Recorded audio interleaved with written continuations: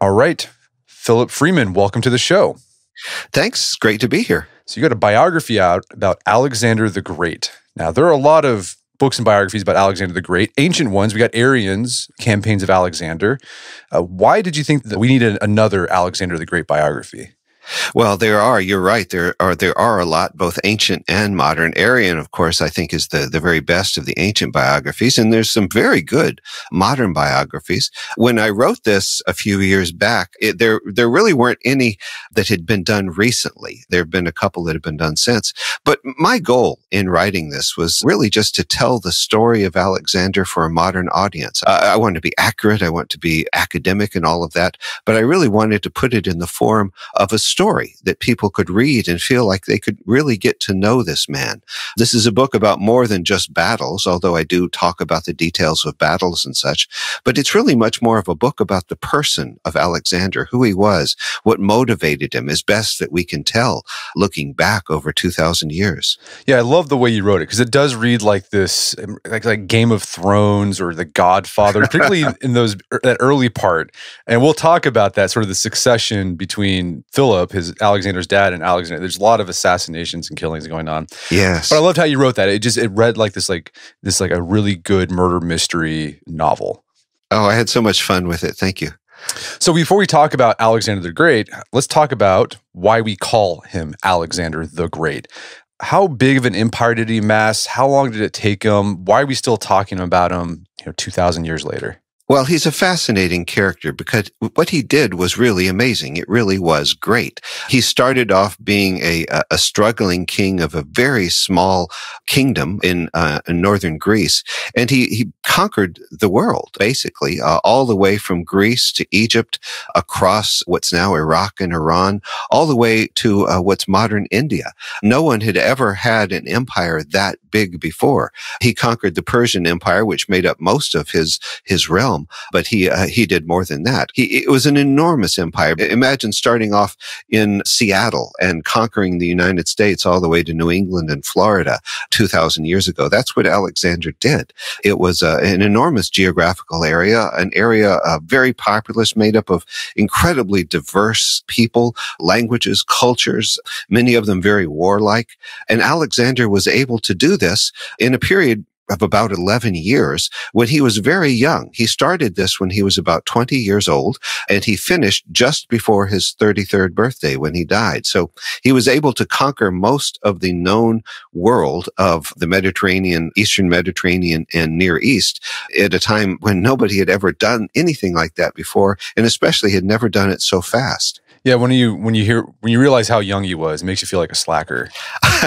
well, Julius Caesar, when he was uh, in his early 30s, came across a statue of Alexander uh, when he was in, in, Spain. Julius Caesar was really just starting off, and he wept because Alexander had conquered the world at a time when uh, Julius Caesar was still a junior officer. So, yeah, it made, made me wonder what I've done with my life. so, in the beginning, you you make the case as well as a general of Alexander the Great that Alexander wouldn't have been able to do what he did without the foundation that his father, King Philip of Macedonia, laid.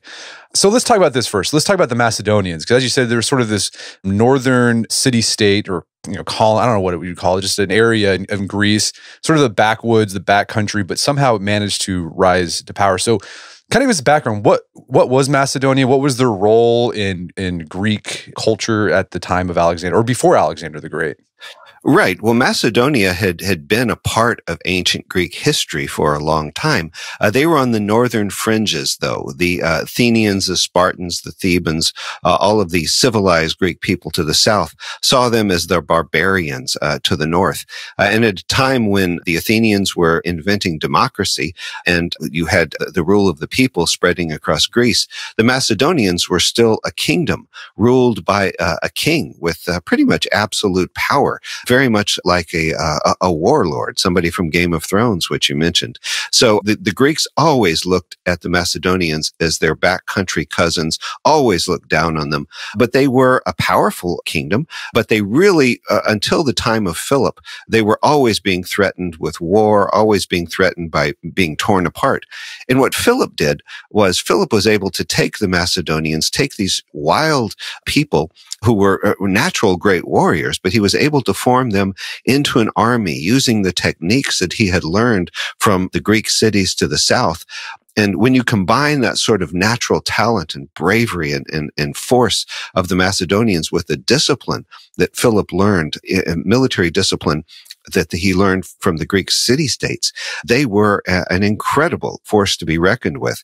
Uh, and Philip was able not only to survive when he rose to power in Macedonia, but he was able to take over uh, really most of Greece, except for Sparta, and, and make it part of his own Macedonian empire with the aim ultimately, as he always said, of invading the Persian Empire, which everybody thought was a, a pretty ridiculous idea. And why did well, why did Philip want to take over Greece? What was his eh, goal there? Oh, I think he was like many kings and tyrants and rulers through the ages. He wanted power. And also he lived in a, in a society that was like, think of the Middle Ages and, and you had to conquer. You had to push forward or you were falling back and you always had to press forward. You always had to give your warriors uh, something to fight for. You always had to give them loot from sacked cities. It was a, a military society. So it had to have some sort of a, of a military purpose to it. And I, I think that was a, a big part of it. Uh, I think he also wanted legitimacy. He wanted to be recognized that he was Greek and he wanted to be accepted by the Greeks to the south. And he's also he took advantage of sort of the tumult that was going in and on in a lot of the Greek city states. I think a lot of times when we think of ancient Greece, we think of you know the white statues and the pillars and it's all, but it was a very chaotic time, particularly around this time. You know, just a couple a generation before Socrates was assassinated. There's this whole you know political intrigue and turmoil going on in Athens, and it sounds like Philip was able to take advantage of that. He was. Uh, what happened in the generation before Philip, really at the end of the 400s BC, was a great Peloponnesian War between Athens and Sparta, a 30 year war, which was just imagine World War II lasting for 30 years. It was that level of, of devastation and death and destruction.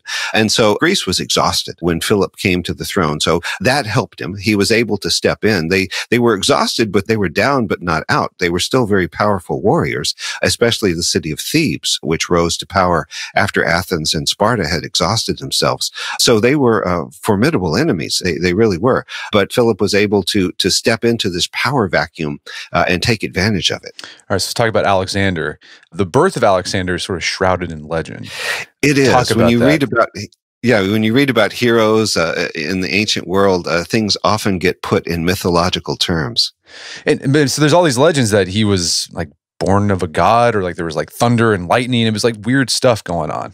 Right, there was. Uh, the, the night that he was born, there was supposedly a thunderstorm. His conception, Philip was never quite sure, according to the stories, if he was actually the father, because there was a claim that Zeus was really the father. That was a fairly standard sort of thing to do. You wanted to have an ancestor who was a, a god. If you could be the actual son of a god, that was a, that was great propaganda. That was something maybe, you know, most people wouldn't believe it, but some people would. And so I think Alexander himself really wasn't quite sure. His mother told him that he was divine, that he was special. His mother, Olympias, was a, a tremendous influence in his life. Well, talk about the influence that Olympias had on him. Yes, she came from, she was a, a, princess in an ancient country called Epirus, which is basically modern Albania. And she came into the court of Macedonia and became one of many of Philip's wives. She was fairly young at the time. She was a very smart, very determined woman. And her goal in life was to get her son Alexander on the throne because there were other contenders, both uh, children of Philip and other members of the Macedonian nobility. So uh, she fought very hard. She had some some rather exotic ways. There's a story that uh, one night Philip came to crawl into bed with her and he found a giant snake wrapped around her. She uh, was uh, doing some sort of a strange, wild ritual with the snake. And the sources say that after that, Philip really was a little bit intimidated and, and didn't go back to bed with her. So she was exotic, certainly, but a, a very determined woman who lived uh, all throughout. She outlived her son, Alexander, and was there all the time pushing for him. Well, that religiosity of Olympias, it seemed to rub off on Alexander as well. Throughout his life, he was very pious or devout or religious. He was. And it's very easy for us uh, from a modern point of view to be cynical and say, oh, he was just manipulating religion. He didn't really take it seriously. Uh, and to a certain extent, he was manipulating it. But I think he was also very serious and very devout. The Greeks really tended to be quite serious about their religion. They, they asked questions. Philosophers did. Some of them even questioned the existence of the gods. But for the most part, the Greeks were really quite serious in their religion. And, and I think Alexander uh, certainly followed that model. And we'll talk a bit about more into that experience he had in Egypt when he began his campaign. But let's talk about him as Alexander as a child. Were there signs when he was a boy that he would grow up to become Alexander the Great? Well, there were. And again, when you have stories about great people of the ancient world, you often have childhood stories of, of great things that they do. But I think with Alexander, some of these were, were quite true. There, uh, when he was a young man, he uh, wanted a horse. And there was this great horse that was brought before Philip named Bucephalus. And it was untamable. Nobody could, this, this magnificent beast, nobody could control it.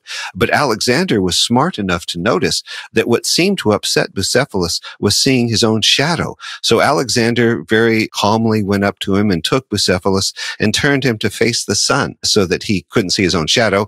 And then after he calmed him down, he jumped up on top of him and, and rode Bucephalus across the plain. And, uh, and he came back and, and, and Philip said, you know, my son, you need to find new kingdoms. Macedonia isn't going to be big enough for you. So there's some wonderful stories like that. Some of them might not be true, but uh, I think some of them are. And then also, he had a unique education because his personal tutor was the great philosopher, the philosopher, the teacher, Aristotle. Yes, I mean, what more could you want? As a teenager for several years, he, if, well, first of all, Alexander was tutored by by several excellent tutors who who taught him Greek. He knew Homer, he knew mathematics, he knew uh, all the subjects a, a, man should know. But Aristotle was his tutor, the the great Aristotle, the, the one Dante called the master of all who know. He uh, was certainly one of the most intelligent men ever, and like Aristotle's own teacher Plato, he explored a wide variety of of, of subjects. But Aristotle Aristotle also was a great experimental scientist, really one of the first. Whereas Plato would theorize about things, you know, what, what animals are like. Aristotle would be out wading in the swamp collecting tadpoles to dissect. Uh, he, so he was a, a, a, wonderful teacher and a great influence on, uh, on Alexander. Do we know why Aristotle decided to take that role? I mean, because he was like, you know, he was in he was in Athens. You know, he was a student of Plato, but he decided to go to the backwoods of Macedonia to to tutor this king's kid. Yes, I mean Aristotle actually wasn't uh, from Athens. Aristotle grew up in Macedonia. His father was the, the court physician in Macedonia, so he was very familiar uh, with the wild and crazy ways of Macedonia. But also, uh, things were getting a little difficult in Athens, and so uh, he, I, I, think, left just to uh, avoid problems and anti-Macedonian feelings. And so I'm sure he was also very well paid. So he went up and he taught Alexander uh, and his small group of friends. You can still visit the site site. It's uh, on the, the side of a mountain, uh, and it's a, a, beautiful place. I can just uh, uh, imagine learning from Aristotle at that setting. Well, according to lore, we don't know if this is true, but that Alexander during his campaigns supposedly sent stuff back to Aristotle, like animals and furs and things. right. Sample, samples and things that he found. Uh, uh, Aristotle practically invented biology, and so Alexander was always sending back unique animals and plants and such things to his old teacher Aristotle all throughout throughout his 11 year campaign. Well, another interesting part of Alexander's childhood, what we'd call childhood now, is when he was a teenager, his dad actually put him in charge of military, of the military. Like he was a captain in the military, like 16 years old. Right. 16 years old, he was put in charge. He was, uh, Alexander learned a lot of wonderful theory in biology and mathematics and literature, but he was also trained from the very beginning by Macedonian soldiers, some of the toughest soldiers in the world. He was trained in the practical arts, the practical arts of fighting and leadership. And so from an early time, Alexander was put in charge of leading men in battle. And so uh, when he was 16 years old, he was serving as a, a, a captain in the army of Philip and getting uh, very much on the ground training in military matters. So the part in your book that started reading like a mafioso or like a Game of Thrones is the succession between Philip and Alexander. Uh, so the interesting part first is that at first Philip, you know, he wasn't always sure that Alexander was his son, and there's actually a moment where Philip says, "No, yeah, you're not going to be my heir, Alexander." Right. Uh, and this was uh, when Alexander was in his late teens and Philip was getting ready to go off on the invasion of Persia. And there was a lot of pressure on Philip to, uh, he had had daughters. He had had one son who was mentally handicapped, but he didn't have a, aside from Alexander, he didn't have a, a, a healthy son who he could leave the throne to. And that bothered some of the Macedonian nobility because they saw Alexander as a, a as a, as a half Macedonian, not really one of them. And they really wanted uh, Philip to marry and, and sire a son with an old Macedonian family. And so Philip listened to them and he sent Olympias and Alexander away and removed Alexander, at least temporarily, from the line of succession. But then after he was unable to uh, have another son and he was just getting ready to leave on the uh, military expedition, he realized he, he couldn't just leave without nobody as an heir. And so he brought Alexander back and uh, reinstated him as his heir, which I imagine made Alexander a bit resentful. Yeah, I could see that being really awkward. Like if you think Thanksgiving dinner is awkward, imagine being like, "You're not going to be the heir." Oh yeah, you are going to be the heir again. Exactly, exactly. So, and then all during this time, you know, before Philip was going to go off to Persia, he was worried about having a successor in case he died out there. But there was also this like you know uh, inner intrigue going on. People were wanting to assassinate philip. Why were why were these why were there conspiracies to get rid of philip? What was going on in macedonia? Well macedonia uh, truly it, it, reading about its history is uh, reading the game of thrones. There was plots counterplots murders intrigue treachery. Most macedonian kings were assassinated. That's how most of them died. And it was unusual for uh, one to live and die uh, in old age. And so there were always plots there were always factions. And so people from the Athenians to the Persians themselves, the Persians knew what was going on. They were keeping a close eye uh, on things. There were factions within the Macedonian nobility. So there were plenty of people who might want to see Philip dead. And so in the end, one of them killed him. And do we know who who that guy was? Well, we know something about the man who killed him, at least who was the assassin. He was a very minor figure. But the, the real question is who was behind him? That's the, the, what people have struggled with. And nobody's really figured it out. Was it the Athenians? That's what some people say. Was it the Persians? Was it just an angry, jilted former lover of Philip who was behind it all? So nobody really knows. But the upshot is that Philip was murdered just before he was getting ready to leave on his great Persian expedition.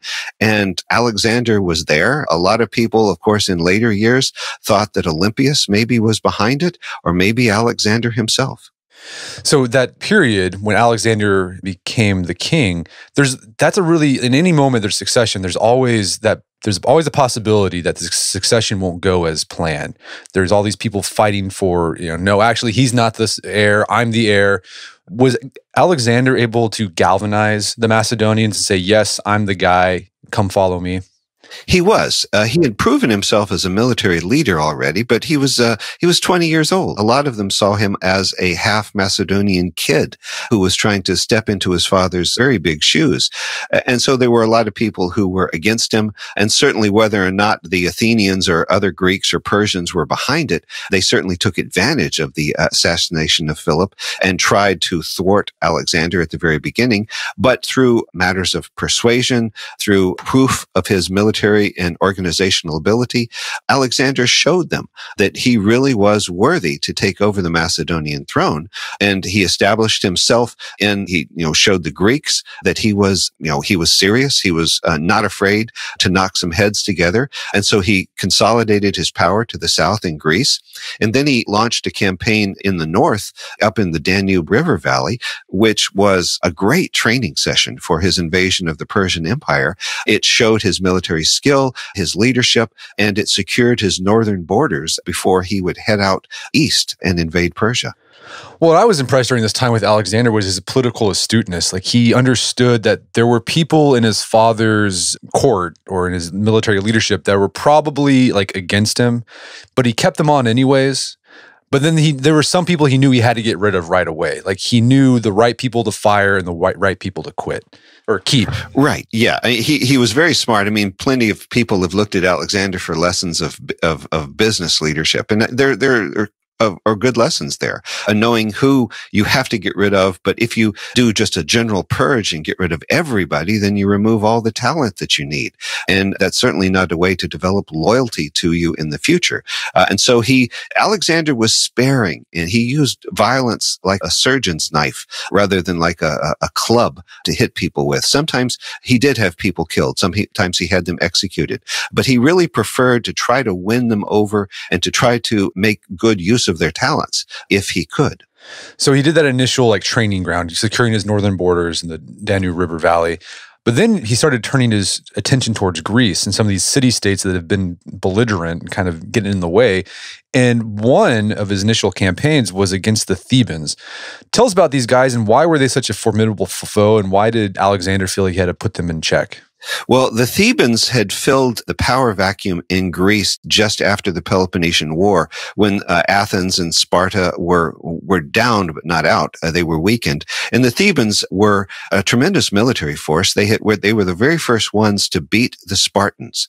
The Spartans really had never been seriously defeated in battle until after the Peloponnesian War. The uh, Thebans were able to meet them on the field of battle and beat them. They were incredible, incredibly trained professional soldiers. Philip had learned so much. He was a hostage, a young man among the Thebans, and that's where he learned a lot of his military skills. The Thebans had something called the, the sacred band, which I've never seen anything like it in history. It was a, a it was a group of 150 male couples who were same-sex couples who were lovers uh, who fought together. So you had 300 men who were superbly trained, probably one of the best military forces ever. And they fought all the harder because they were fighting beside people that they loved. And so Alexander was able to, uh, he marched on Thebes and he said, surrender. I, am the boss now. My father's gone. The Thebans said, no, we're not going to surrender to a kid. Uh, and so Alexander, by using his skill in siege warfare and, and other things, he took the city of Thebes and destroyed it. And he uh, gave a very specific object lesson to the rest of Greece by basically killing or enslaving everybody in Thebes, uh, so that the Athenians, the Spartans, and the rest would think twice before rebelling. While he was off in Persia, uh, he would uh, simply send back a message and say, remember Thebes. And so he used violence uh, on a grand scale, but a very selective scale in order to impress the people of Greece. Yeah, that was sort of his modus operandi. If there was a, a city that just just didn't didn't give up or didn't surrender right away, he would make sure that he would teach a lesson to them, but to everyone else. Absolutely. So uh, you mentioned he used uh, siege warfare during this time, um, and he made some innovations there. Besides that, like what did, what sort of other innovations did Alexander introduce? Um, you know, strategically, tactically, that made him such a formidable military leader. Well, really, organization on the battlefield and off the battlefield.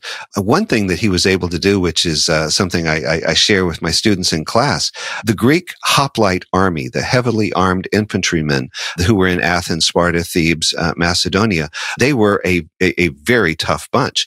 And they had these spears. In the ancient world, you really didn't throw your spear. That was a, that was a last resort. So they would have spears that were maybe eight feet long that they would use to poke and stab their enemy.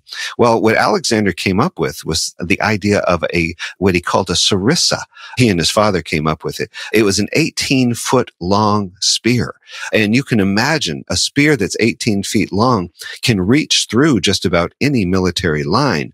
The problem is if you have a hundred men carrying 18 foot spears, they have to be superbly trained so they don't get entangled with each other. But if you can get a hundred men who can move like a machine with 18 foot spears, then you can press your way through just about any heavily armed infantry line. Uh, that was just one of the innovations of Alexander. But he had a great many others. And, and really one of his main ones was speed. Nobody ever moved as fast as Alexander. You'd be uh, getting ready for a battle in three days with him and then find out he was right there on your doorstep. And in battle, one of his tricks was to rush in very fast with his horsemen before anybody could even get their arrows ready to get underneath the range of the, of the archers. So uh, speed in all of its different aspects was a major factor of Alexander.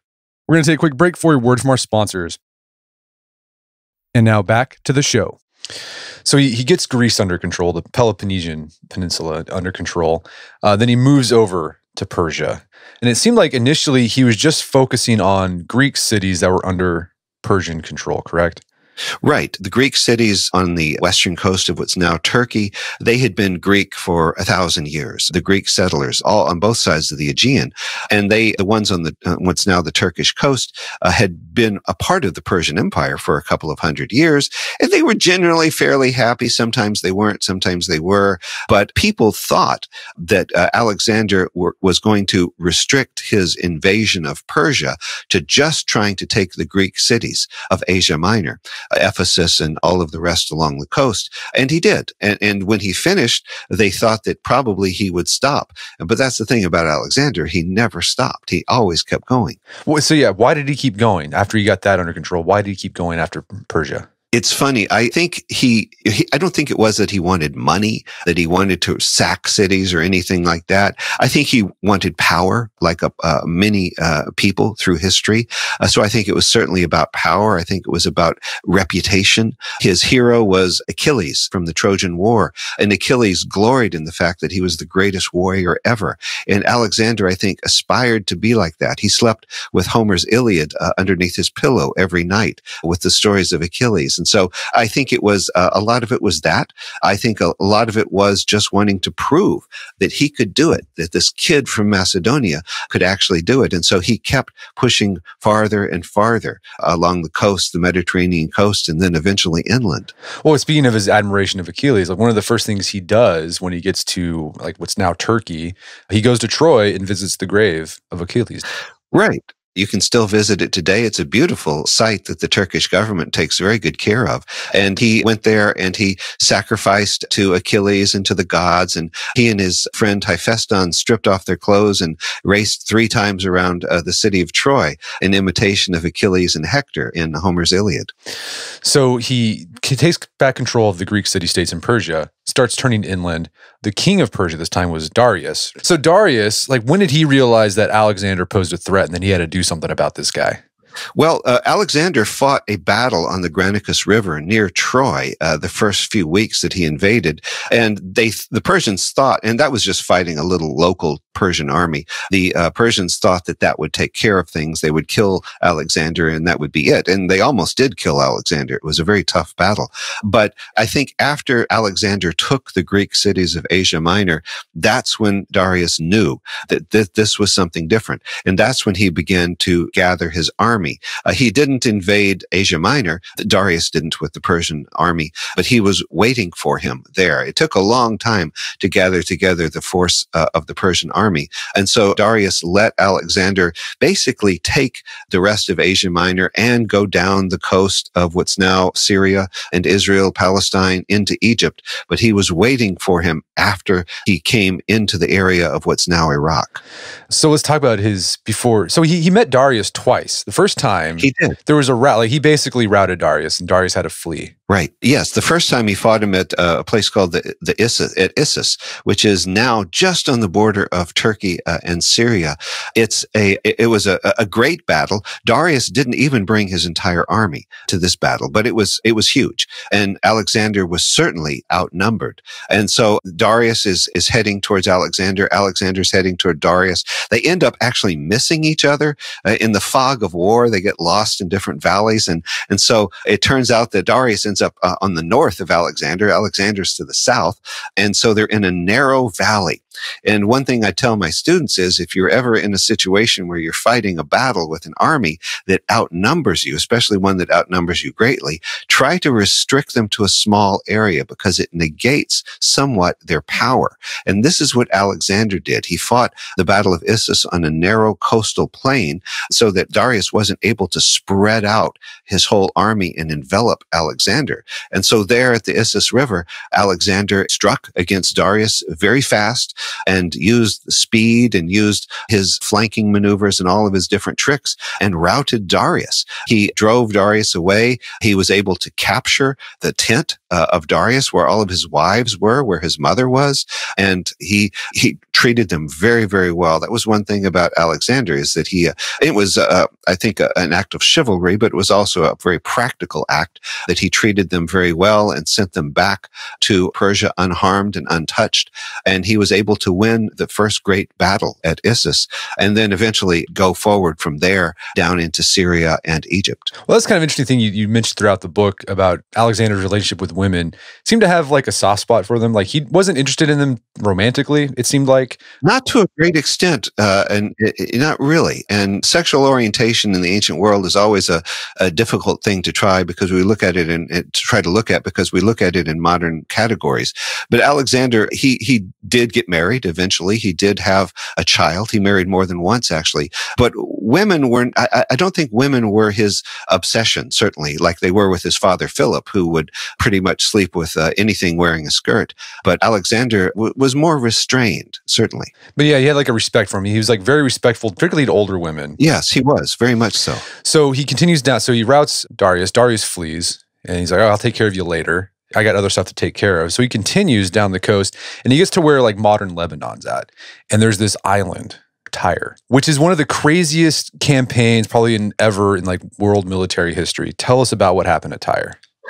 Well, Tyre was an island about a mile off the coast of what's now Lebanon. It had been a commercial center of the, the uh, Phoenicians, the, the great trading people, the Phoenicians. They were an important part of the uh, Persian Empire. They were the main naval base of the Persians in the Mediterranean. They had this walled island, uh, as I said, about a mile off the coast, and it, it had never been conquered. You, you could not take uh, something like this. It had never been done before. So uh, Alexander Sends a embassy to them. He's standing on the shore, basically says, you know, I want to come over and worship in the uh, temple of Hercules. And, you know, by the way, I want you to surrender. And they say, uh, nope, sorry, not going to do that because they are pretty sure that Darius is going to come back and crush Alexander with his entire army. So they say, no, we're not going to surrender. And if Alexander, you know, maybe he should have just moved on and left them there. But the problem is that they still controlled a very powerful navy. And so he would be heading south into Egypt with a powerful Persian navy still in force. And he couldn't do that. He had to take Tyre. He had to find some way to subdue this island city.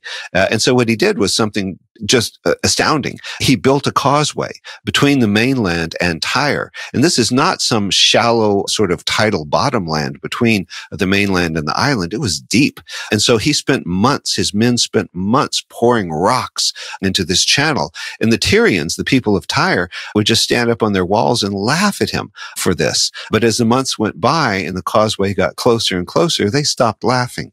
And eventually Alexander was able to complete the causeway and roll his machines of war right across it along with all his soldiers and ladders. And they took the city of Tyre.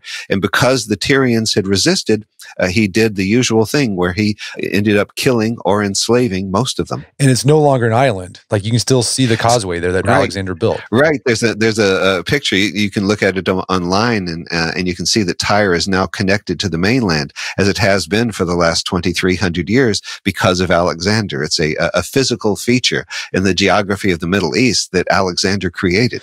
So, talking about this spiritual aspect of Alexander, an, an important part of his campaign was when he went to Egypt. Now, Egypt today is like, you know, we think of Egypt sort of this land of mystery. It was the same thing in Alexander's time. Egypt was seen as this land of mystery and magic and spirituality.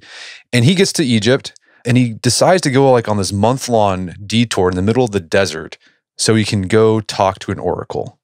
Right. He he conquered Egypt without any resistance. The Egyptians never particularly liked the Persians, so they were happy to proclaim Alexander as pharaoh and to to show him around. And uh, like everybody, Alexander was very impressed with Egypt. He went to the pyramids, and, and we have to realize that the pyramids were older to Alexander than he is to us. So there's an enormous antiquity to Egypt and, and mystery to it. So he left the Nile Valley and he went far to the west to the oasis of Siwa, which is now on the border of, of Libya, uh, where there was a great uh, oracle of Amon Ra, which the Greeks called Zeus. And so he went there on this dangerous journey that I think only a young man and his and his buddies would would do, crossing the uh, Sahara Desert. And he went there though to consult the oracle. And we don't know exactly what happened when he went into the oracle's temple. The story seems to be that Alexander wanted to know if Philip was his real father. And when he came out, people say that he seemed changed. And so the supposition is that the oracle told him that you were actually the son of Zeus. And so he went forth uh, at that point believing maybe that there was some actual truth to the story, that he was the son of a god. And so he went back to Egypt and then headed inland to invade the heart of the Persian Empire. Well, yeah, supposedly he asked also if he would conquer the Persian Empire. Yes, yes. And, and, and uh, the oracle said, yes, indeed you will. Yeah, and that seemed to change him. Like he went, he left that profoundly affected, and it gave him more gusto to keep doing what he had started to do. Right, because Alexander had gotten a message from Darius, the king of Persia, uh, saying, let's work out a deal. You can keep the Mediterranean parts of my empire, which were really quite small and not particularly wealthy, and, and just stay there, and I will recognize you as, as king of the Mediterranean coast, and, and that's it. Uh, I think Darius uh, probably uh, intended to still conquer uh, Alexander, but he wanted to buy some time. And, and Alexander, a lot of people said, Alexander, this is incredible. This is more than any of us could ever have hoped for. You've conquered Asia Minor. You've conquered Syria. You've conquered Egypt. Stop. This is enough. And Alexander said, no, I am going forward. And so his army, who were very loyal, followed him inland to the heart uh, of Mesopotamia, to the Tigris and Euphrates Valley. Yeah, as I read about that experience with Alexander, it made me think of like there's a if you look back in history, a lot of you know what we'd call great individual individuals, individuals had a great impact on history. They had that in common with Alexander. Like they had a, a, a very powerful sense of purpose and identity. Right. And that they use that for good or evil, right? It could just depend on how you look at it. Right. I mean, there's the modern theory, the great man theory of history, which is many historians sort of poo-pah. They say, no, it's not individuals who change history. It's economic and social forces. And of course, there's a lot of truth to that.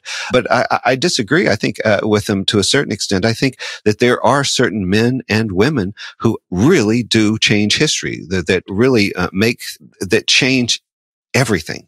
Julius Caesar was certainly one of these. Alexander was one of them. Napoleon was one of them. Certainly religious leaders, Muhammad, Jesus, uh, the Buddha. Uh, these are, these are individuals who changed history. And so Alexander was, uh, was one of those. So as he was conquering these Persian cities, his empire was growing. Taking over things is easy. Managing is a lot harder. So how did how did Alexander start managing his growing empire? What did he do?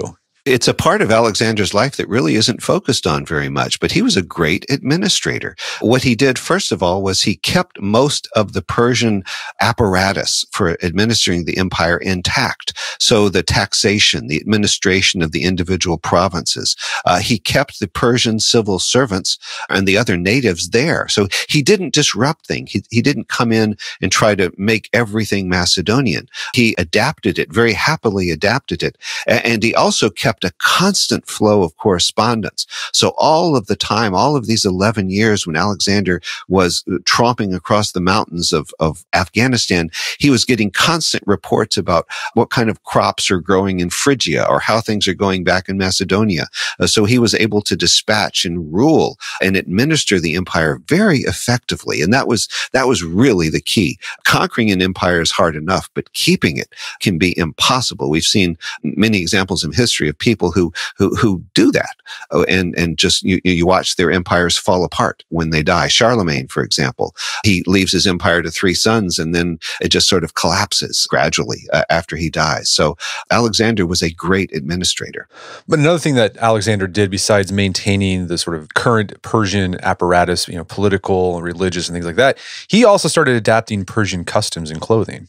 He did. He started wearing uh, Persian clothing, which I think in one sense was practical because it's really hot in Persia. So he started wearing pants, which uh, Macedonians wouldn't do. Greeks would never do that. So it was practical. But also uh, part of it was that the people of, of the Persian Empire that he conquered wanted a king who looked like a Persian king. Uh, and so he started dressing, at least in public displays, like a Persian king, which got some of his Macedonians who were very much a rough and ready a bunch of cowboys sort of people thinking, you know, why is Alexander starting to act like a Persian? So that's created some tension.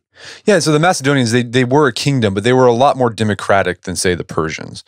They were. I mean, you think uh, when I think of the Macedonians, uh, I, I, think about uh, think about uh, Vikings. Uh, think about a, a, hall full of Vikings with a king up front uh, and all the warriors gathered around him, proudly fighting for him, but doing it by their own will. And so it, it was a more democratic kind of institution than than the Persian Empire, which was very much a hierarchical, top down sort of administration. So he continues just steamrolling through Persia. Uh, does he eventually kill Darius? Well, he uh, he doesn't eventually kill Darius. Somebody else does. But uh, after uh, the the great battle at Gaugamela in what's now uh, northern Iraq, where Alexander faced the entire Persian army, vastly outnumbered, and was able to defeat them by uh, again by just sheer daring and speed, then the army collapsed. And after that, Darius was a king on the run with just a few men with him, one of which uh, eventually killed him. Alexander didn't want to kill Darius. He wanted Darius To surrender to him. So he was very disappointed when he found the body of, of Darius somewhere in Iran uh, at an oasis at a caravan stop. Uh, and so, um, eventually somebody else killed Darius and eventually then Alexander was the undisputed king uh, of, uh, of his new empire. All right. So he, he's taken over the Persian Empire what did his men think? Like, all right, let's go home. We've been gone probably what? How have they been long? Seven, eight years at this point. Yeah, at this point they've gone through what's now Iran. They got stuck in Afghanistan, like pretty much every army does in history. For that was the toughest time that Alexander had was in Afghanistan, uh, and then he goes down into what's now Pakistan, and just across the border into modern India, and he's going to keep going he says, all right, boys, let's go. We're going down the Indus River all the way to Cathay to China if we can. And, and they say, no, it's just, you know, it's, it's been almost 10 years. We want to go home. This is far enough. Make an end to your ambition. And so Alexander, when he hears this speech, he goes into his tent and sulks for three days and then finally says, okay, boys, you're right. It's time to go home. So he heads back to his new capital at Babylon in uh, what's now southern uh, Iraq. Yeah, the sulking thing, he's done that before and it worked. but This time it didn't work. This time it didn't work. Uh, this time he goes, uh, the, the, men are just not going to follow him any farther. And so there's really not a whole lot Alexander can do at this point. He just, uh, he has to turn around. And so he does. And he's not giving up his uh, ambitions at all, but he is heading back, at least for uh, a while, uh, to Babylon. And what's interesting on his quest back, like instead of going back the way he went, he decided to go this like hard route because he heard that no one else had done it before. Yeah. And he was going to be, the, there was that whole idea of Alexander, I'm going to do something that no one else has done before, even if it might kill me, I'm going to do it. Yeah, he did. He went across this great uh, Gedrosian desert, which is a really kind of like Death Valley. He led his men across and some of them uh, didn't make it, but I think Alexander did it. Some people have said Alexander did this to punish his army. I don't think so. I think he did it because, like you said, it hadn't been done before. Uh, and most of them made it. Uh, he uh, he made it uh, back across the desert, back to Persepolis, and then back eventually to Babylon. And that's where his story ends. Like, how did Alexander die? Did he f- meet the fate of like other previous Macedonian kings and get assassinated? Well, that's the question. Alexander had been sick before with what nobody really certain exactly what it was. Maybe malaria, but he had been sick a number of times and recovered. He was also injured many times. Uh, he said, "Look at my body; I'm covered with scars." He was stabbed with swords and spears and always managed to pull out of it. So he's 32 years old and he's in Babylon and all of a sudden he comes down with a great fever uh, and uh, doesn't last all that long. And people ever since then have said, oh, he was poisoned or, or something happened. Uh, somebody killed him. Maybe it's possible, but it's also very possible that Alexander, there was a lot of sickness in the ancient world. And it's very possible that Alexander was just weakened after all of these, these years of campaigning and just simply died of uh, disease there in, uh, in Babylon. Now, just like there's legends around his birth, there are also legends around his death particularly about who would succeed Alexander. Right. That's the great story, which I think is probably true. Uh, Alexander had married a, uh, a princess from the area of Afghanistan uh, and uh, eventually had a young son, but uh, that you know he was just an infant. He wasn't able to take over the empire. So people wanted to know. His generals wanted to know who are you leaving in charge of your empire, this vast empire you've created. And so they're all gathered around his deathbed, and Alexander whispers to them his last words. Uh, when they say, who are you going to leave it to? He says, to the strongest. And then he dies. Uh, that's the story, which uh, may be a little dramatic, but I think is probably true. And so after that, as you can imagine, there was chaos about who was going to take over Alexander's empire. So what happened at the empire? Well, his his generals divided it up. What happened was uh, one of them took the eastern part, the uh, parts of India and Persia. Another took Asia Minor area. Another took Macedonia, and then his old friend, his best and oldest friend Ptolemy, took Egypt, which was uh, probably the smartest move of all because it was a, a very wealthy and very contained and easy to defend kingdom. And so Ptolemy and his descendants ruled Egypt for several hundred years until his very last descendant that Cleopatra was uh, taken over, uh, uh, surrendered to Rome. And what happened to Macedonia itself? Macedonia itself sort of fell back. It, it remained, uh, it was uh, uh, given to one of uh, Alexander's generals, but it continued to exert a lot of influence. It was still powerful, but it really, it, it started to fall apart at that point. Certainly the empire part did. And it wasn't that long afterwards uh, until uh, Rome was a rising power in the West. and they certainly did their best to bring down Macedonia if they could. And so Macedonia itself reverts to being what it had been before, which is a, a fairly small kingdom. And all the rest of Alexander's empire is divided up into uh, among different generals who found dynasties. But uh, but the thing is, Alexander's influence continued. Alexander not only conquered, but he established cities, he established libraries, he settled his veteran soldiers in colonies uh, all the way to Afghanistan and India. So these little centers of Greek civilization, all in these cities, basically named Alexandria after himself himself, he founds all across his former empire, and they become a great center for, for Hellenic, for Greek culture uh, that greatly influenced uh, the, the area for, for centuries thereafter. Yeah, how did it set the stage for Western civilization after that point, you think? Well, what Alexander did, uh, uh, before Alexander, Greek civilization was pretty much contained in, in Greece. So the, the Aegean area. But Alexander spread Greek civilization, the stories of Homer, the philosophy of, of Plato, uh, across uh, the ancient world to Egypt, to, uh, uh, to Mesopotamia, to India. and so when we think about the golden age of Greece and the, the wonderful plays and books and histories and all. Uh, Alexander is really responsible for spreading that. Uh, and then the Romans took it up and they, uh, they helped spread it uh, even more. But Alexander founded these cities, the greatest of which was the Alexandria of Egypt, which became uh, the intellectual center of the ancient world, uh, where people from all over the place came, where this great library for the collection and dissemination of knowledge was founded. and so Alexander spread civilization, uh, really Greek civilization, uh, at least, uh, all across uh, the uh, the ancient world, and so that people spoke Greek. Not everybody; uh, they still spoke their native languages. But we look at the New Testament, for example, written written in the in the first century of our era. It's written in Greek. It's not written in the Aramaic of Jesus. It's written in Greek, the, the Greek of Alexander. So you mentioned that people often look to Alexander for leadership lessons for business or for military. And so Alexander the Great, like, he's an interesting character because as I was reading your your biography of him, I'd be like, wow, this is really cool. And then he would just like basically commit genocide. And you're like, ooh, yep. that's not good. Um, so like, so you kind of walk away ambivalent about him. What, but what do you think are the lessons that people can take from Alexander the Great on leadership? Well, I mean, it's a tough question. It's a question we deal with in, in, in college courses all the time when we study people from the past and then we find out something terrible about them, that they own slaves, for example. What do we do with somebody like that? What do we do with George Washington, who did all these amazing things and yet uh, owned and oppressed uh, individual people? It's a tough question. So uh, what I try to do is I say, try to look at the context of the times, because otherwise we're going to end up ignoring everybody from history. We're going to end up canceling everybody.